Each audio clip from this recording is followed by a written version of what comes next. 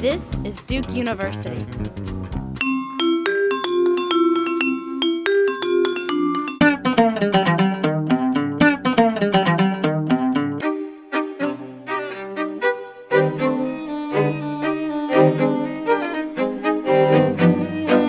So our crucial measure, at least in this first set of papers, is food security.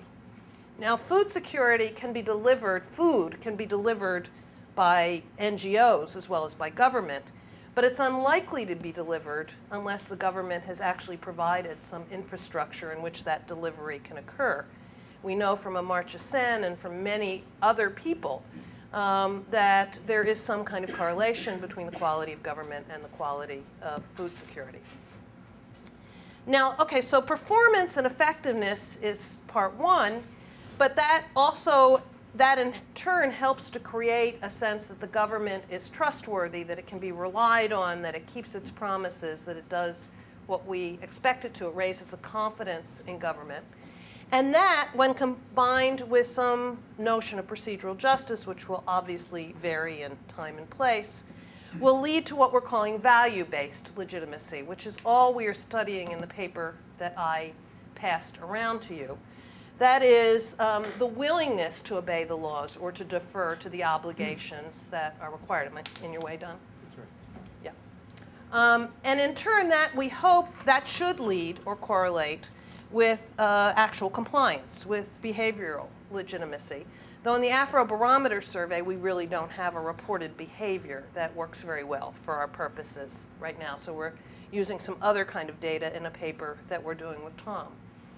That should then create a kind of virtuous circle, which will lead back to higher quality of performance and start the whole thing over.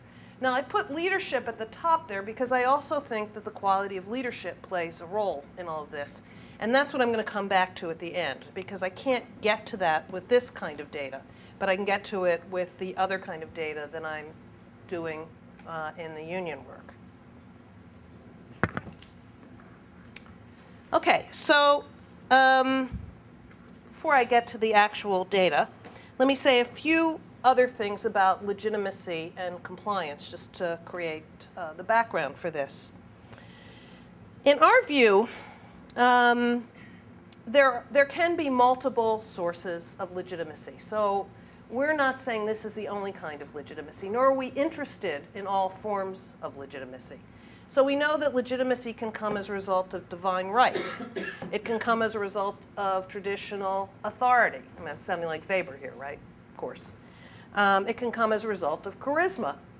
And the kind of legitimacy that we're really interested in is the kind that is produced by a state that is approaching a legal rational authority, that is trying to be that kind of bureaucratic state where its rules are non-arbitrary, um, it's not particularly corrupt, et cetera. So that's the kind of state we're interested in and the kind of legitimacy we're interested in.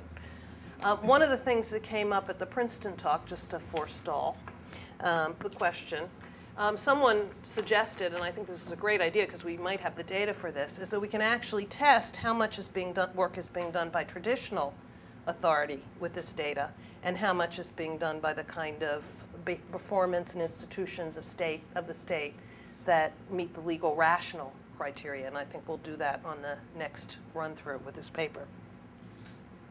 So there are multiple kinds of ways in which legitimacy might be produced, and we're really only interested in one of those.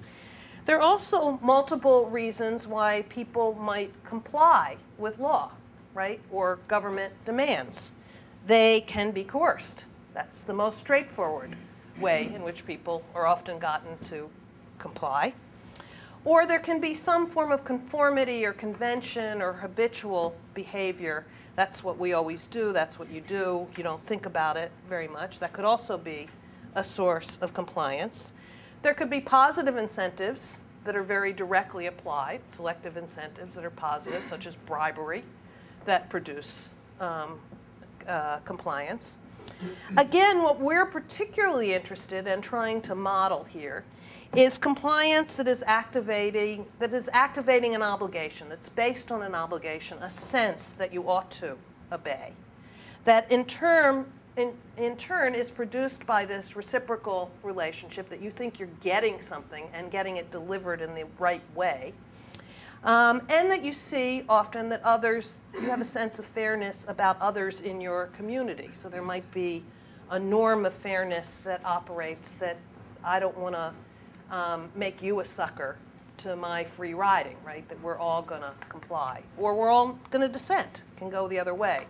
In consent, dissent, and patriotism, I talk about the Anglophones and the Francophones, and they're very different um, attitudes towards their obligation to comply with the Canadian state when it asks for volunteers, let alone conscripts, for military service during both World War I and World War II.